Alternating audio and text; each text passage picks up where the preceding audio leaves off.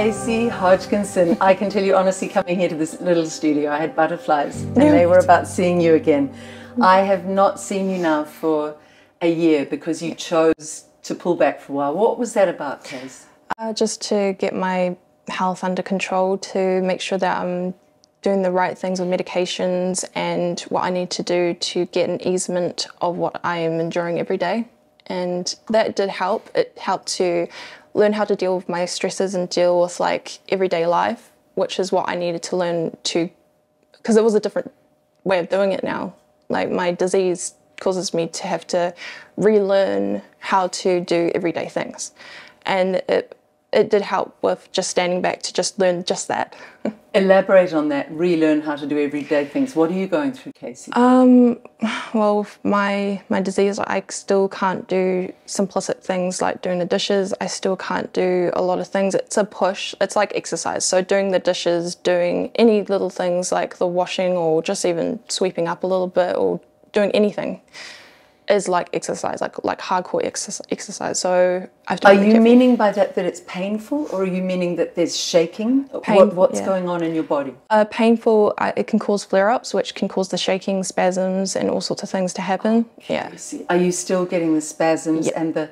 Are you still locking up like yeah. like we saw in the early days? Yeah. Um, the medication I'm on helps me to not have that all the time, and you'll recognize with a lot of diseases that is the case anyways. So it's just like, it, it, it, helps to have and to be on the right medication. 100%. And that was the journey I was going through. And that's why I needed to step back to make sure that I had found that for myself, found the right way to do things. I've learned to help with my stresses by meditation and yeah, breathing techniques. And yeah, that's been very helpful. In, in what ways do they help, do you think? Relaxing? Is it yeah. relaxing the muscles? Yeah, uh, relaxing the mind and relaxing, because um, what, what I'm told with the disease I have is like stresses can be a big trigger, of course. Like, in everyone's stresses in life, it's like something we can't really avoid, it's just going to happen in your life. And but to learn how to cope with it a bit better, that was a big journey for me. Definitely to cope with any emotional stuff that can cause stress as well. That was a big journey as well. I, yeah, it was a, and it's to this day something I'm trying to learn for myself. And yeah, I'm hoping I'll get there eventually where it's just at the right, right stage. I'll never forget, Casey. I had done one love letter to the nation saying this rollout of these forced jabs is wrong. And mm. somehow we were connected, and you were the first one I interviewed. I remember leaving that interview that day saying, This will be done now. The government will see it has so, this jab has so injured a then 23 year old young woman at the start of her life. This government will stop this rollout. One case, and this will save thousands, maybe more millions of injuries and deaths. And they didn't. They didn't listen. They didn't respond. Have you yet had government financial help, ACC, anything? It's just working income, not ACC, which I'm actually supposed to be on. I have seen specialists and I've got diagnoses at this point, and again, it's ongoing. I have seen an immunologist who has diagnosed me with vaccine induced autoimmunity. I've had a cardiologist now diagnose me with dysautonomia caused by this vaccine. And I've had a neurologist that, these are all private, by the way, because um, the public health system is still very much a brick wall. And, you know, I wish I could say it isn't. I recently did go see them, the public health system and neurologist, and it was a very, it was easy for me because I knew I was speaking my truth. I knew I was like going in there knowing that this is still going on. I'm still flaring up, I'm still having these things come up, I'm still having to struggle day by day. I go in there and they're still trying to say functional, they're trying, trying to say like this isn't possible. Um, what they did really wrong for me is they put in a neurologist I only seen once and hardly any time compared to the other neurologists which could have seen me. And he was a young one, so he would he didn't know much about this. And the interaction was like he again it was the gaslighting trying to tell me this isn't possible like it's just functional and how he said one part was very interesting for me because it got me to thinking something I didn't really think about and how he said is like it, has got to be some sort of functional thing And then he looked down, he didn't look at anything because it can't possibly be MS or stroke. That's exactly what he said, like that. And I was like, why would you make that comment? And it really stuck with me afterwards. It hit me because I'm like, why out of everything would you make that comment? Like, why it can't possibly be MS or stroke? Like trying to talk to himself about it, and I'm like, and it hit that way because of how he said it, and it was different from everything else he said. And I thought, why would why would he say anything about MS? Like, the, I never thought about MS about this. I was like, okay. So I thought, look into other things about it, ask other medical advice on this, and a lot of my symptoms very much are strikingly similar to MS. And so I did an email to them and I said, the, the comment you made was very striking to me. And I gave him all the evidence of showing, well, this is actually very possible. I'm not saying this is what I have, but I'm telling you this is very possible. What was very interesting in timing, and I don't know how this is possible, but the WHO, WHO, said that this vaccine was causing MS just recently after this appointment with neurology. You can find, find this on PNB and proper government official. It's, they've done a whole research on this. It's almost like that young doctor could have been saying to himself, this can't possibly be the jab. Yeah. The denial within our public health system, which has obviously come from instructions from the very top Yeah. from the government. But to think of that woman getting a damehood when a 23 year old girl's life has been ruined. What are you now, Case? 25? 25 nearly, yeah. 25. How do you remain so calm in the face of such grave injustice? Working through the anger, I can't like say that I've not felt that. I feel the anger. I feel the frustration. I feel all the things that you're going to feel with this. Is the processing. I think I, I look at it and I look at how can I help myself not feel this all the time because I'm living with this day by day. I'm faced with this day by day. So what can I do to just be like, okay, you feel this anger. It's okay to feel this anger, but don't become it. Okay. So I sit down with myself and I discuss and I look into things that will help I, at the moment, I'm doing meditations and stuff that help with this, and anyone else can do it differently. We all have our outlets. I have creativity as well. I do writing, I sing. That that really much helps with that, and it brings me joy. And yeah, anything that can help you process things and bring up the good in, like emotions rather than always constantly be held down by those emotions. Like, don't be scared to feel these emotions though. Like these this anger this frustration it's okay to feel it. Just don't put it onto others. Don't let yourself become it. And that's the important part. If you're still with love if you're still like you're feeling it and that's good. You need to feel these emotions. That's human. It's not one side or the other. It's human. And that's part of processing that's my process i process my emotions and i'm like okay i'm feeling this i'm going to keep feeling it i'm going to feel it again no doubt so yeah. 25 years old and wisdom so far beyond your years, so far beyond your years. But it's wisdom born of not only inordinate physical pain, Casey, but it's it's born of incredible emotional abuse you've had to go through. And yet I don't see someone who's a victim or self-pitying or lashing out.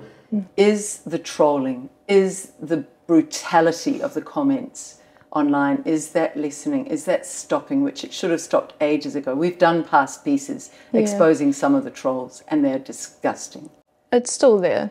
It's um, Seriously? Time, yeah, every time I put things out there, they're still there, and I get that they're outlining their process, their emotions, but they're doing it in the wrong way. I will, I'll admit to that. They are doing it in the wrong way. We all process our emotions. It's about how you process those emotions, how they're processing their emotions and the information they're seeing from me and my experiences. They process it this way, which is not healthy. We can admit that. and these are the sorts of comments that might have said you're acting you're pretending Yeah. you switch it on for the cameras Yeah. oh my god And yeah, so I've stepped back from social media because I realized I need to learn to focus on how to deal with these emotions better.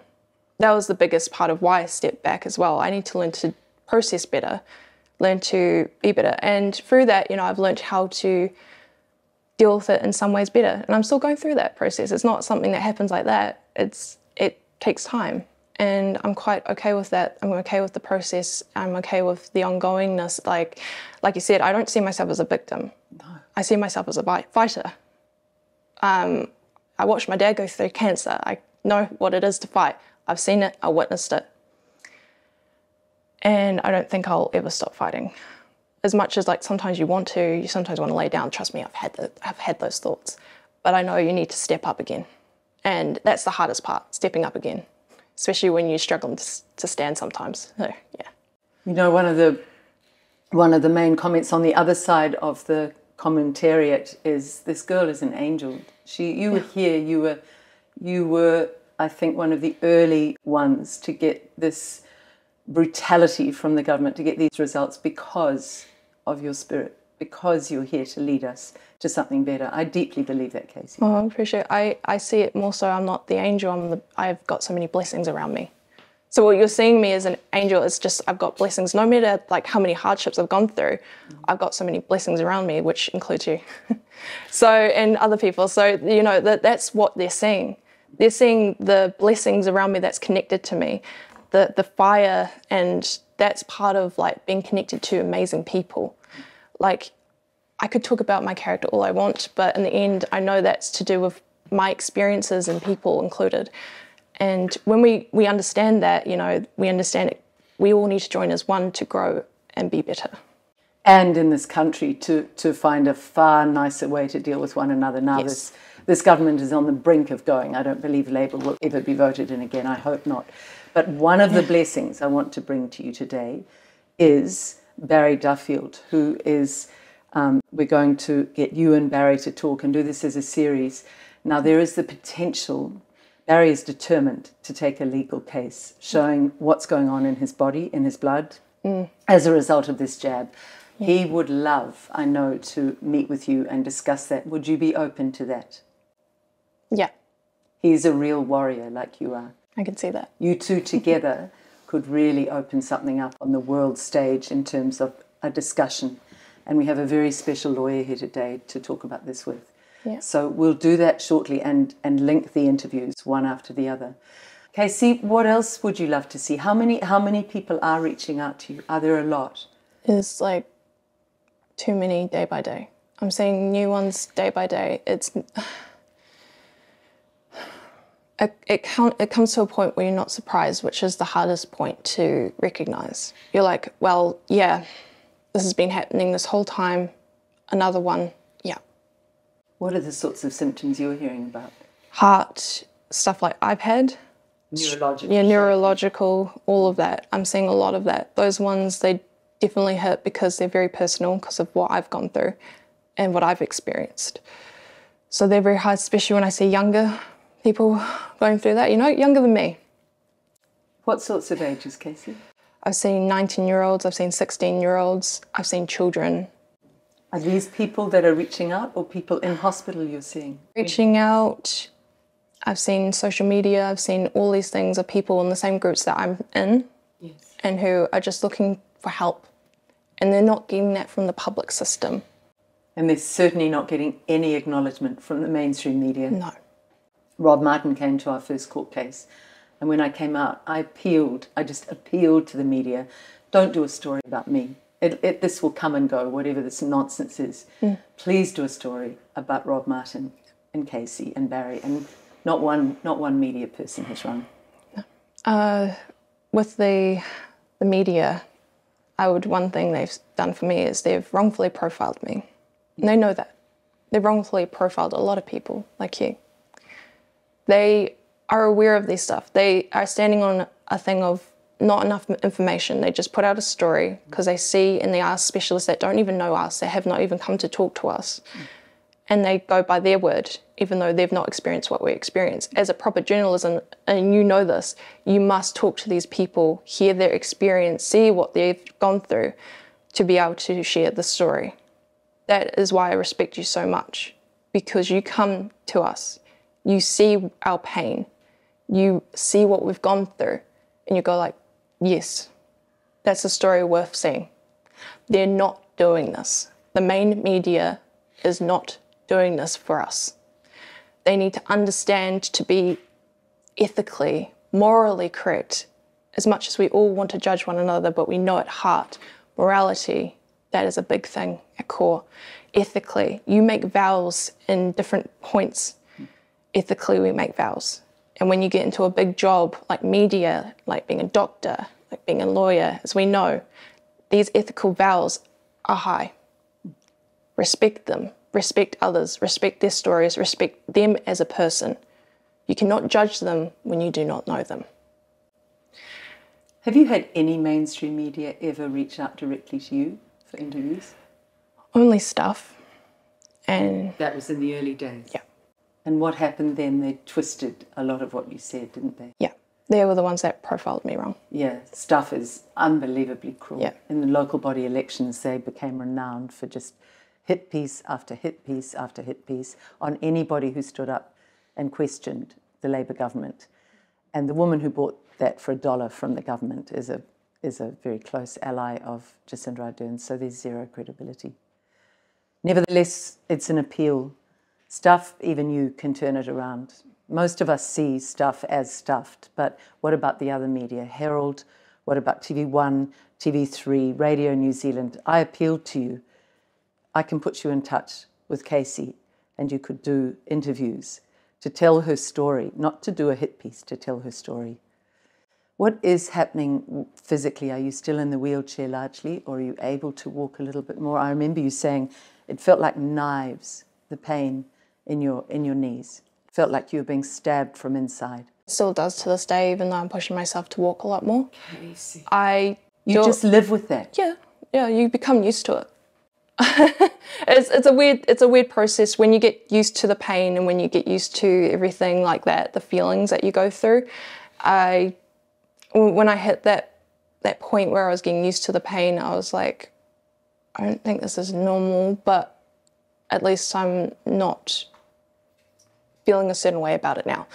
I can process it a little bit better now. It's back to that mind, using your mind. Yeah, as and I've gone through all the processes to set myself up correctly, like to ensure that I can keep going. I've not got any help from ACC, no help from the public system to do exercises. I've just had to look by myself and get voice from GP, who's been amazing. My GP is absolutely amazing, and from other doctors who are willing to come forward to give advice. And those people are just amazing for doing that because I know what they're putting forward with that. Do you want to say names or keep them protected? I'll keep them protected. Isn't isn't that an indictment of New Zealand? Yeah. Instead of being able to say what an amazing doctor, after all those shoddy doctors in the public system who turned away, I remember that one doctor who shook your shoulders and said, "Stop pretending." Unforgivable behaviour. You've finally found some good medical people. Yeah. I mean, praise them. Oh, praise to them. Boy. And one day, hopefully, they can feel comfortable to have their names spoken and that they won't get ridiculed or their jobs taken away. What a, So- what a crazy clown world New Zealand we are in. So, are you able to walk with this stick a little bit more? A little bit. I try to walk as much as I can. Even walking can be debilitating for me. I try to do it as much as I can. I have a frame that I use as well when I want to do a little bit of walking around the groceries and doing all that stuff. I can sit down on it at least. Yeah. but it's just trying to exercise and trying to keep up any type of movement because keeping stagnant is not good. I understand that and I don't want to be stagnant. I'm very much will push through my pain to keep moving. And I think people don't understand that with diseases you can still keep moving. You can still keep doing stuff. It's just you got to fight through the pain. you've got to fight through what you're feeling.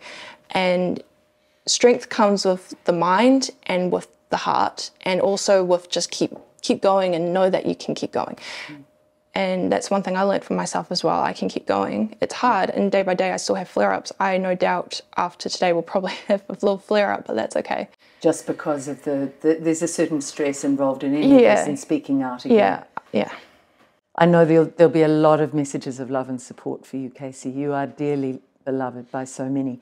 But the, the, the horror of you in that level of pain and having to push through every day is just, it's just unbearable. And you call it a disease, and maybe it's caused diseases in your body. It's dis-ease, it's lack of ease. But at its heart, Are you still absolutely clear that this was caused by those jabs? 100%. A hundred percent. A 100%. This before this, you never had any of these symptoms at all. No. Yeah.